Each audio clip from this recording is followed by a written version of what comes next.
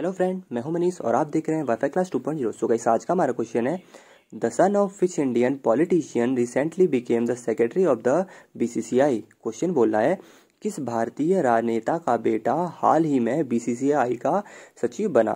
सो जो right answer हो जाएगा, इस क्वेश्चन का वो हो जाएगा आपका option second Amit Shah I hope friends आपको वीडियो पसंद आई होगी।